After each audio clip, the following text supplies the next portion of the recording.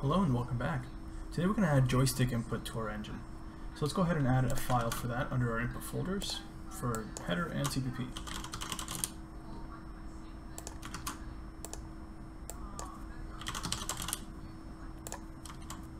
It's going to be very similar to our keyboard and mouse input, right? So we'll have our namespace, class joystick,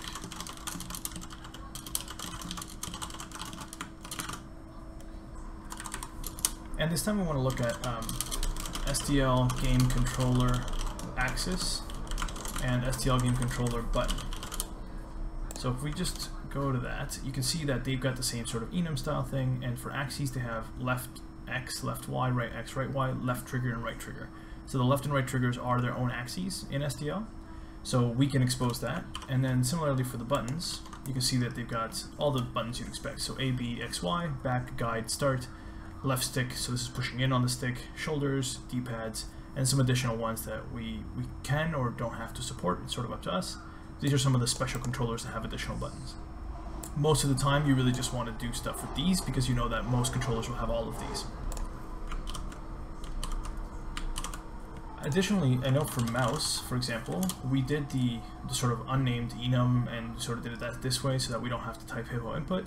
You do something like hippo input mouse and then call the button method and pass in hippo input, let's call it mouse enum, uh, you know, left button, right? Like, it's very verbose. Um, I think really if the caller doesn't want that, they can always say using namespace hippo input, and this just becomes mouse button, mouse enum left. Um, so it's not bad. I don't mind either way. So I think maybe for joystick we'll do it as an actual enum that lives in the class, and then we'll just sort of see which one we like better, and we can always update the other one to match.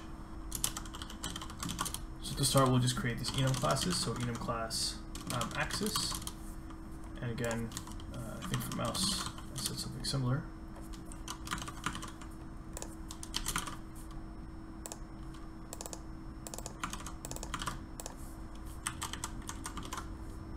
There we go. And if we just take these, paste them here.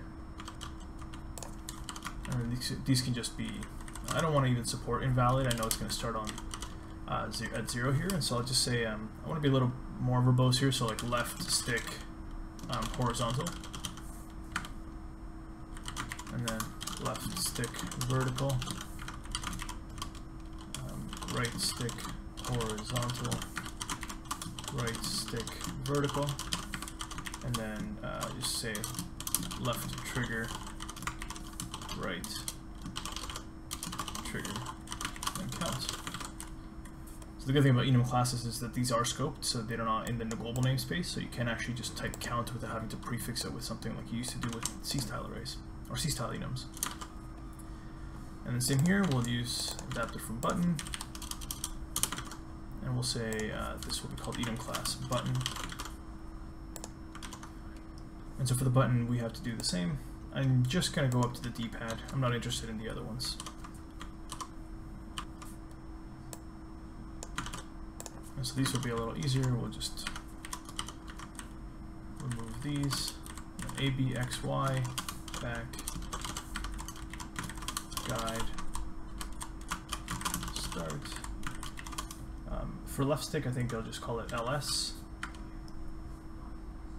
Right stick, RS left shoulder, I usually refer to them as bumpers, so I'll say LB, right shoulder RB, and notice that the order has to be the same, right? Same as the keyboard and mouse, it has eventually is going to map to the STL uh, value, so we want to make sure that they stay the same. And then D-pad, can, I'll do this, D-pad up, D-pad down, D-pad left, and D-pad right. Okay, so let's see how this works for us. Now, in terms of the methods we're exposing, we usually have an initialize method to sort of set everything up for us. That's sort of not really a concept here because we don't have a control, we don't have a, the context of a controller having always been plugged in, right? Um, for example, you can assume a person will have a keyboard and a mouse plugged in, and if you don't, the SDL just won't give you any events for that. But the way their new SDL game controller API works is it's all event driven. So I'm not going to assume any number of controllers. I'm instead going to listen for events from SDL to tell me if a controller has been plugged in. So that means we don't have an initialize method. It also means we don't have a single sort of uh, piece of data for the button axes, we, we have potentially multiple. So in order to hold all that data together, I'm just going to create a struct down here. It's private, so only this class cares about it. We'll call it controller. And the way the SDL's API works is you open a controller and it gives you a pointer to it, and then when you want to close the controller, you send that pointer back to it. So that pointer is called SDL underscore game controller pointer. Now let's call it game controller GC, initialize it to null pointer. Now this, to use this, I have to include this, right? And again, the point is I don't want to include this in my header files, so instead I'll just take this type def and I'll just uh, forward declare it up here. Okay, so that should be good. And now I can start having my sort of arrays of data. Let's just semicolon at the end there. Um, so I'm going to have an array. And I'm going to have four arrays. So std array. So a bool, an array of bools, and the size will be, um, because these are enum classes, they are constexpr. So I can just say um, int and then button colon colon count. And that should work. Um, and this will be my buttons array and then I'll do the same for last buttons, just like the keyboard. And then I have to do the same for axes, right? So axes and last axes. And axes are uh, floats. So I want to store axes from negative 1 to 1. Right, so negative 1 being, let's say, on the left horizontal, negative 1 will be full left, and 1 will be full to the right. Um, and this just makes it easier to sort of conceptualize around where the left stick and right stick sort of axes are uh, SDL goes up to a, a, different value, so we're going to have to map to it, but ultimately I want floats between negative 1 and 1. And this time we're using the axes, or axis count value here. So that's our controller struct. Now we need to have a way to uh, have multiple of these, and it's going to be unknown to us how many the user is going to be able to sort of you know turn on and off sort of during gameplay. So we're going to want to include uh, an unorder unordered map. We're going to use this to store sort of a mapping from our engine indices into a controller structure. Um, and the reason we do this is because what, with SDL, if, if during the lifetime of, a, of an app I plug in a controller and then unplug it and plug it back in, um, the SDL ID that I get back is going to be incremented. So if I say, you know, player zero or, you know, player one always has joystick zero, and they unplug it and plug it back in, they're no longer going to have joystick zero, they're going to have joystick one. So we're going to support a mapping on our side. And to do that, we're going to store this stuff in a static std unordered map of ints to std unique pointers of controllers. And we'll call these um, available joysticks. Unique pointer needs memory.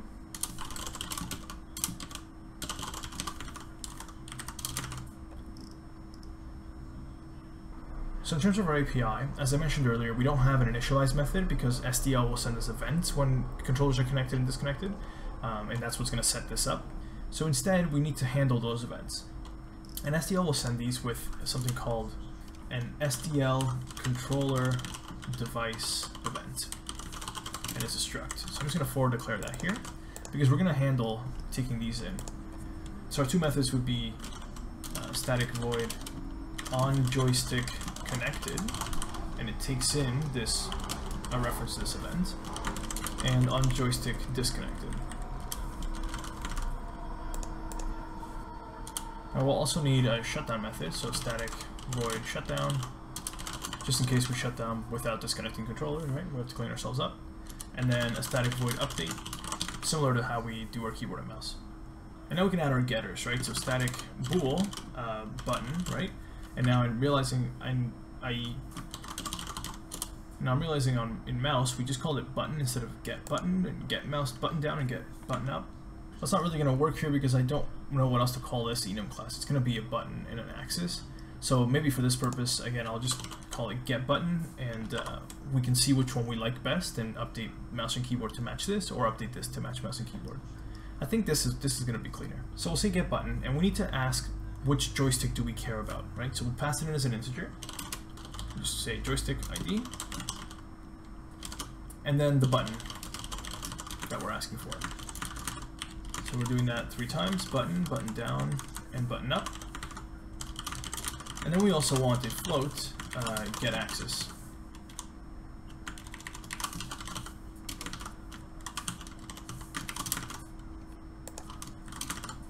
Now I mentioned earlier that SDL's IDs will always roll up, whereas ours we want to stay static. So uh, the first controller you plug in is going to be ID 0. Even if you unplug it and plug it back in, that one should still be ID 0.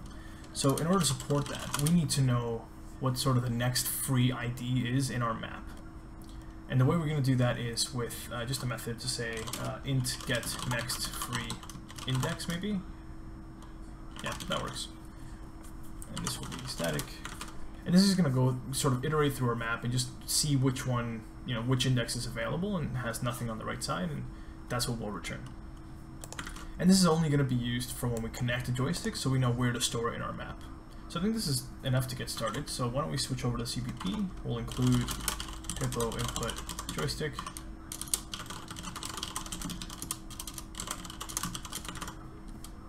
And I'll just go back and uh, have Visual Assist help me create all these methods. Except for this guy, who I'll usually I usually put these up top.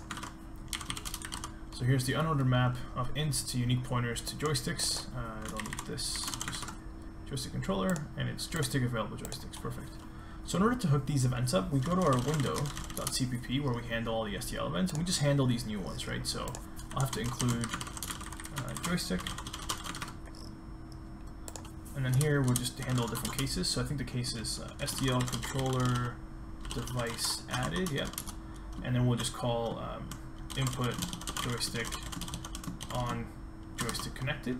And we can pass in, uh, when you have this event, it, the data in terms of the ID of the of the joystick is stored in e.cDevice type, or just cDevice.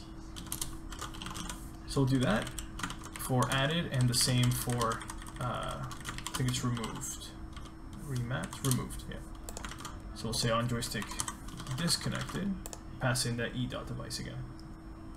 And then we can update it here as usual. Joystick update. Okay. So now that we have the e.cDevice getting passed in, we can go back here and actually do something with it. So in order to know what this is, we have to include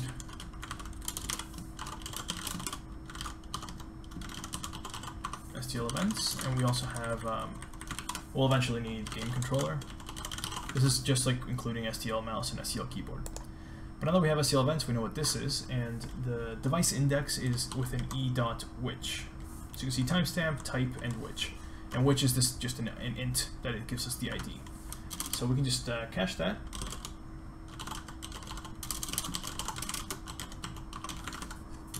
And then according to the docs, we want to make sure that it is a game controller and not some other device that might be picked up by the event system. So we can do that with a call to SDL is game controller, and we pass in that joystick index, so device index. And if it is a game controller, then we can do stuff with it. So the first thing we're going to do is make a controller, and this is our controller structure now.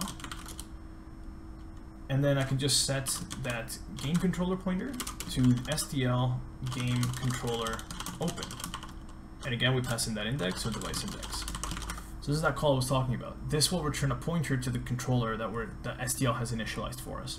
And on shutdown, we need to sort of clear that by closing the controller. So now we can see if that succeeded. If it failed, it will return a null pointer. So if c-arrow gc, now we know we're good to go. So, so we're actually, because we need to be able to pass in the same device index into the disconnected method, we, we are going to need to cache it. So we should add something here, just int uh, joystick index. Start equal to negative 1 to start. And our joystick index is just going to let us uh, cache that. So if we, we have a valid game controller, we can say c-arrow joystick index equals device index. And then at this point, we can also, since we made something unique, we can actually, this is this becomes our initialize method. So if we look at our mouse.cpp real quick, where we filled it with false, that's what we're going to want to do here. And again, we'll need uh, algorithms for that.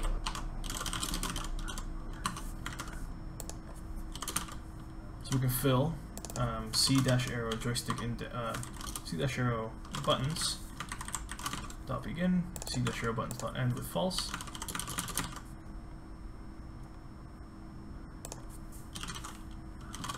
mouse buttons.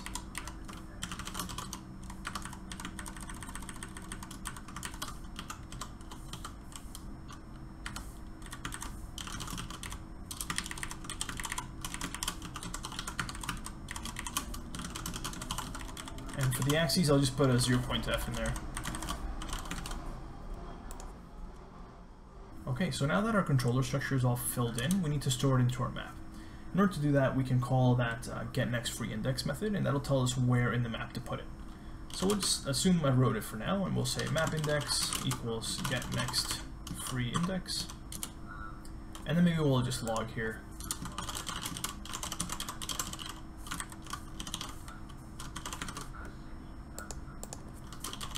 Hippo trace, joystick, connected, um, map index, device index. We'll pass in map index and device index. Okay, and now I should have to, I actually have to move it. So now that I have a map index, I just say available joysticks at map index equals to move C. And now I've successfully moved my unique pointer to this controller into my unordered map. Now if this did return null pointer, we do want to print an error here. So hippo error, error opening game controller with device index uh, ID, and then we'll print out the SDL error here. So we'll have device index, and then SDL get error. So maybe we'll look at that get next free index method. So get next free index is pretty straightforward. So here's our return value, return ret, and then basically we're just going to go over all of the the number of controllers that we've got connected right now, right? So for i equals 0, i is less than SDL num joysticks tells you that, so it tells you how many controllers are currently connected i++, and then we're just going to iterate over our map at those indices and see if one of them is free. So if available joysticks dot count, you can do this with dot count. This is basically different a, a way to check if a key exists. Dot count of i equals equals zero, so there are there are no entries into our map with this index as the key. Then we can just say ret equals i, we found the space, and then break. So that way, if I've connected two devices, one is index 0, one is index 1, and I, am, I unplug one but not the other, I don't want the, the one that I didn't unplug to shuffle and, and around anywhere, right? I want it to stay as is, and then sort of re-plugging in the original device we'll put that one back in where it was at sort of spot 0. So that's pretty straightforward, that's all that does, and that should put it into our map properly. So now when it's disconnected, uh, we just do something similar. So again, we have that e, right? So let's get that device index equals e dot which. And then we'll just iterate over our map. So we want to do this with an iterator because we want to be able to remove something from our map once we've found the device that we want to remove. So we'll use an, an iterator. So auto it equals available joysticks dot begin. It does not equal available joysticks dot end. it plus plus. And then we'll just sort of pull out the controller. So controller star equals it dash arrow second dot get. So iterator dash arrow second gives you the controller star, the unique pointer, and then dot get gives you the raw pointer behind that unique pointer. And yeah, I'm gonna call it something, so we'll call it C. And the reason I do this is so I don't have to move it out at all. I'm just going to take a pointer to the data, the underlying data, just so I can check some values against it, right? And really we're just checking that joystick index that we cached above. So if c-arrow joystick index equals equals device index. So at this point we found the index into our map that pertains to the device. And so we'll log here as well, hippo trace joystick disconnected. And maybe I'll just give it the device index. Okay, and now that we know which controller we want to turn off, we can call SDL game controller close and we pass in that pointer to the game controller that we got from the open call. So that's c-gc. And now we're free to just remove this thing from existence in terms of our map, right? So available joysticks dot erase, pass in the iterator, and then we'll break. So once you erase something, you're shuffling this stuff around, and IT actually this returns this should return an, uh, an iterator to the next thing when you call erase. Either way, once we found the single we'll, we'll get an event per device. So once we found the device, we don't need to iterate over this anymore. So we can break. So that's pretty much it. And our uh, shutdown is going to look very similar, except we just don't check on that. We're just going to shut everything down. So iterate over everything, get the controller, no need for an if statement, no need for a trace. Just close it, and then it equals available joysticks.erase it, and so that way it keeps sort of get moving up, and actually don't even want this IT++ plus in that case because this will get set to the next thing. So if I do IT++, I'll skip stuff. So start at the beginning, go to the end, don't do anything. We will update IT in this line before the next iteration of the loop. And now for the update. So the update, again, is very straightforward, uh, just in terms of how we've done this in the past. So I'll just, again, iterate over everything, pull out the controller, and then maybe I'll just make sure that we have valid stuff here. So like if C, um, uh, and C dash arrow GC. So I want to make sure that this controller thing is valid and the game controller sitting behind it is valid. And maybe I'll assert on this as well.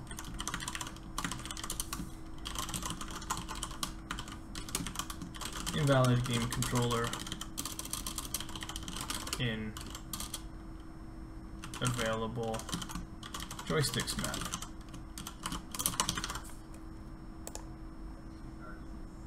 Okay, so now we'll do that copy again, just like we did with the keyboard and mouse. So C dash arrow last buttons equals buttons, C dash arrow last axes equals axes. Oops, equals C dash arrow buttons equals C dash arrow axes. And now we can ask for the, the most up-to-date data from SDL. So we'll have to do this for every button, right? So for, um, we'll do an unsigned integer, and since I'm, uh, let's see, unsigned integer i equals zero, i is less than um, button button count, oh, sorry, button count. And uh, for this, I think I have to do a static cast to an int here, and then i plus plus.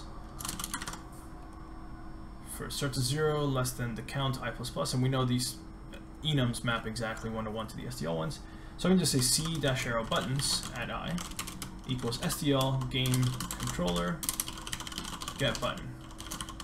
And then we'll pass in that game controller that we care about, so c dash arrow gc, and then the button we're after. And in this case, I'll just do a static cast the other way, so a static cast to the SDL enum, SDL game controller button, and I'll pass in i. So we're iterating over our buttons at enum, and then we're just statically casting it to theirs before we pass it in. And that's basically it, the same thing for the axes now. So instead of button, it's axis, axis count, and it's axes, and this time it's get axis. And again, GC, and then static cast, SDL controller, game controller axis. And now we've got the most up-to-date data. So it's pretty straightforward. So now for the getters, these are also going to be pretty straightforward because we're passing in the joystick ID and these will be indices into our array so that when I ask for ID 0, I'm always getting the first joystick, not, you know, regardless of what, SD, what ID SDL has given it. So pretty straightforward, auto IT uh, equals available joysticks dot find joystick ID. Right, so try and get the joystick ID, that's sort of the entry into our, our unordered map. And if it's not equal to available joysticks.end, so we found the entry, we can just return um, it dash arrow second dash arrow buttons at static cast int button. Right, so it is the iterator, dash arrow second gives us the controller structure, the unique pointer to it. So dash arrow buttons gives us the buttons map or the buttons array within the controller structure, and then we index into it by this button that's passed in. Cool. And then else, um, actually I guess we don't need an else, we're returning, so in this case we'll just say uh, hippo error joystick with ID blah is not available. And pass in that joystick ID. Whoops. and then we'll return false anyways. Okay. The error might be overkill, but I think it's important. At least for now, we'll see. And so again, you guessed it, same thing with down and up, and the same way we did it last time. So in this case, this is gonna just get a little verbose, but that's okay. So down means is it down now and not last buttons. And then similarly here, it's if it's not down anymore, but it was down, before. So again, pretty straightforward. Get the joystick, if we have it, just return axes at static cast int axis. Otherwise, the joystick's not available, return 0.f. So that should be all we need in order to just start getting some data out. So let's go to the engine.cpp and let's just start printing some stuff out. So joystick. Uh, we already have the event set up, so we should be able to just start sort of printing stuff in our loop here. So let's do a hippo trace. Uh, joystick. Um, let's just print out the left stick axis and maybe the button, uh, just four buttons. So um, A, B, X, and Y. So we got an axis and four buttons. And uh, so I'll pass in uh, joystick, or actually input, joystick, get button, or get axis actually. So this will be joystick index 0. And the axis I'm asking for is, let's say, left stick horizontal, right? Left stick x-axis. So that's our axis, and then for get button, we'll again ask for joystick ID zeros button, and it'll be input joystick button A B, X Y.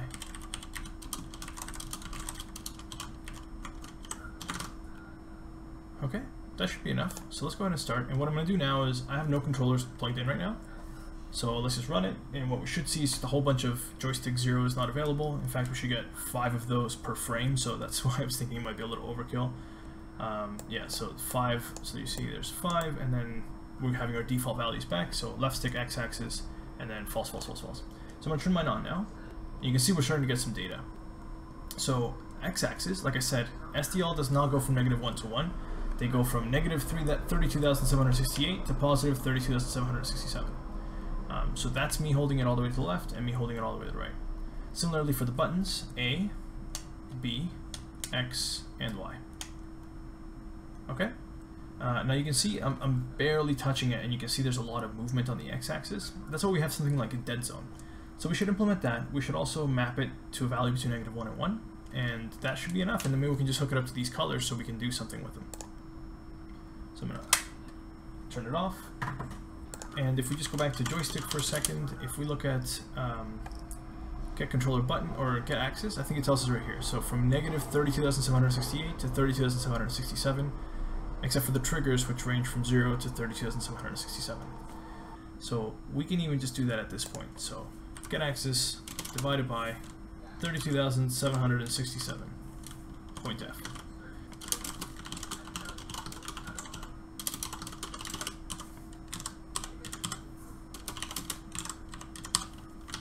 So I'll just put a little comment here so that we know why we're dividing by this magic number. Uh, I could also pull it out into a define or something, but I think for now this is fine. Let's just see what that tells us. So I'm turning my controller on now before the app has started, and you can see it does still get that event. And now I've got a zero, and I'm going from negative one to one. You can see I do go a little further than just negative one, so we'll have to cap that. And that's just because of that one, like if I divide it by 32,768, now I'll reach full negative 1 on the left side, but I can't. I will never fully reach it on the right side. Right, so now I should be able to see, enter. I should be able to see at full negative 1, but 0.9999, right? So um, that's fine. I think we can just, I think we'll do 7, and then we'll just cap it to negative 1 or 1. Um, so to clamp it, since we're already including algorithm, we can access stood clamp. Stood clamp.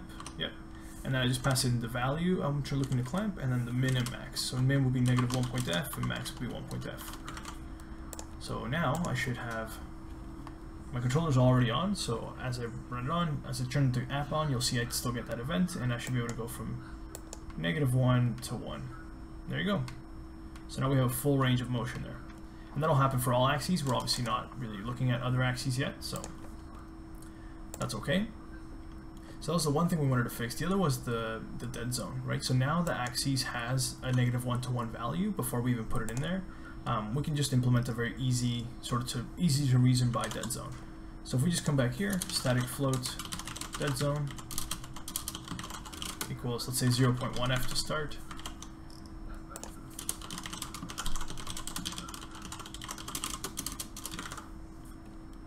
Actually, I think I have to say 0.1f here. Yep. Such a dead zone, and then for when we ask for the axes, um, we could have like a get axis raw that will bypass the dead zone, or we could pass in like, you know, should use dead zone or not. Um, but basically we'll just say, give me zero if we're within the dead zone, and give me the real value if we're not.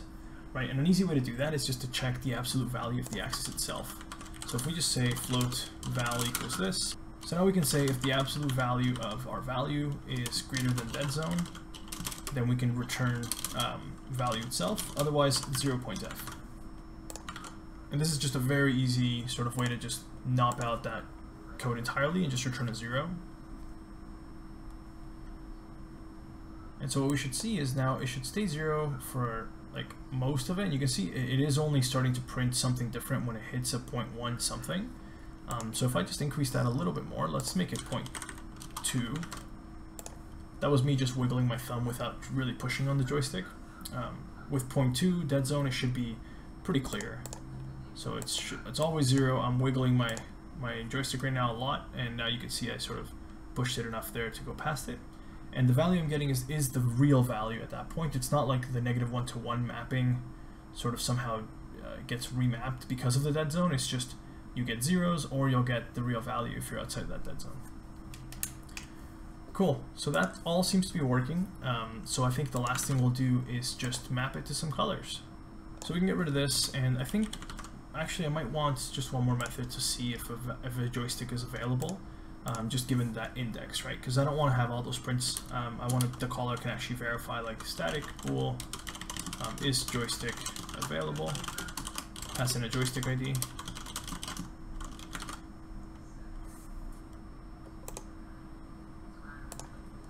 And then to implement that, we we are going to do the same thing as this, or something very similar. We're just going to say um, if, uh, or actually we can just say return available joysticks.count at joystick ID is greater than zero.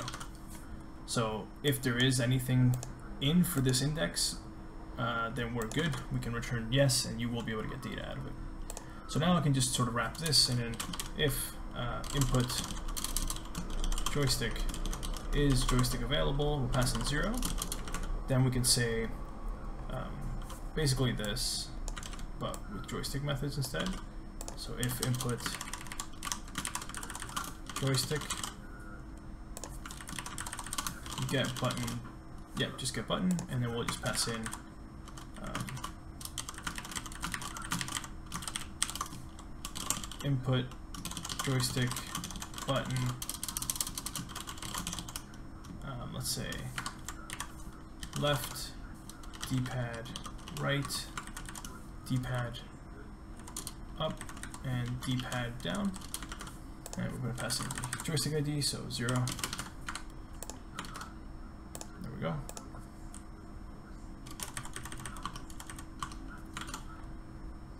So now I should be able to use the D-pad to move things around just like I did with the keyboard. Um, now I want to do something with the axes, so maybe I think we had like the full color, but we were, we were only using X and Y, right? So we don't have anything for blue. So maybe I'll have a uniform uh, float blue equals 0. Point, I guess let's do 0.5f. We'll put it right in the middle. And then here, vec4 will actually, this is actually something that you can do. You can say, oh, you're passing in vpos here, right, with the offset. Okay, that's fine. So vpos will be dot xy, and then I'll, I'll use blue for the blue, and then 1.0 for the alpha. So red, green is XY, and then blue 0.5. So just this, I should see something with that's a little more blue than what we've seen before, and I should be able to use the D-pad to move it, move it around just like I do with the arrow keys. So now I'm using the D-pad, and you can see it is moving around. There's more blue there coming in from the bottom, so that's pretty sweet. Um, now maybe I'll just like bump up the blue or bump down the blue based on a trigger um, so let's say if, actually we'll just say float blue equals 0.5f, and then, actually I'm interested in what our triggers would print. So hippo trace, um, LT, RT, uh, let's do a slash T here, and then we'll just pass in input joystick get axis for 0, and then joystick axis left trigger.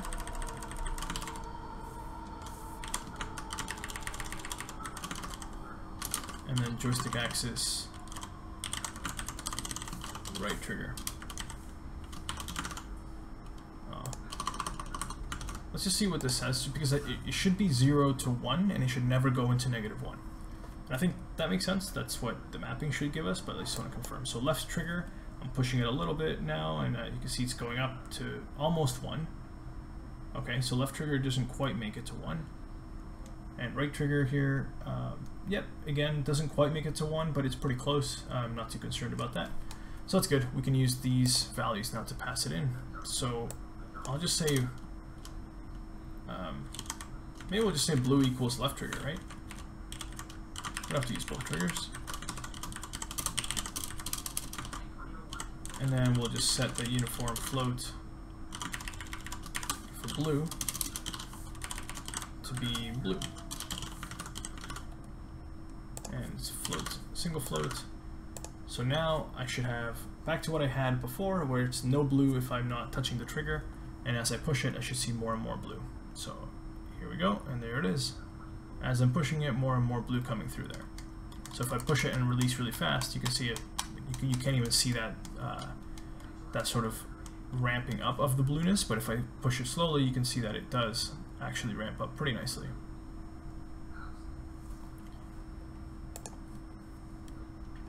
Okay, so we got joysticks working. That's all I wanted to do today, so thanks for watching, and I'll see you next time.